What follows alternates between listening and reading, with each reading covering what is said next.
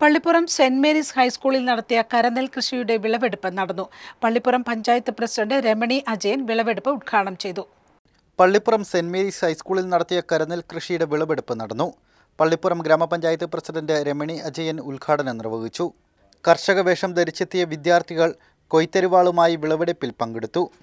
Manjumatha basilica സഹവികാരി Tony Pinheiro അധ്യക്ഷത വഹിച്ചു.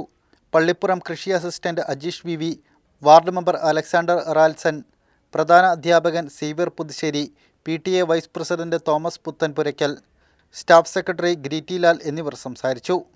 കൃഷിഭവന്റെ സഹകരണത്തോടെ നടത്തിയ പദ്ധതിയിലൂടെ മികച്ച വിളവാണ് ലഭിച്ചിരിക്കുന്നതെന്ന് കൃഷി ഓഫീസർ നീതു ചന്ദ്രൻ അഭിപ്രായപ്പെട്ടു.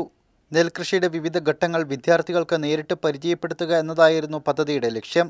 പള്ളിപ്പുറം സെന്റ് മേരീസ് ഹൈസ്കൂളിൽ ഇന്ന് എല്ലാ വിദ്യാർത്ഥികളും പി ടി എ അംഗങ്ങളും അധ്യാപകരും എല്ലാം വലിയ സന്തോഷത്തിലാണ്. കാരണം ഏറെ നാളുകളായി സ്വപ്നം കണ്ട ഒരു സുദിനമാണ്.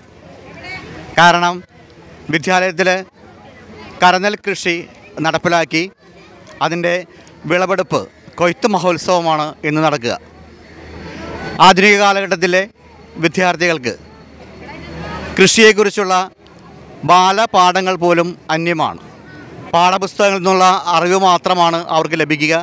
മറിച്ച് പ്രായോഗിക തലത്തിൽ എങ്ങനെയാണ് വിത്ത് വിതയ്ക്കുന്നതെന്നും നെൽച്ചെടി എങ്ങനെ വളരുന്നുവെന്നും എങ്ങനെയാണ് നെല്ലാവുന്നതെന്നും കൊയ്തെടുക്കുന്നതെന്നും ഒന്നും അവർക്ക് അറിയുന്നില്ല.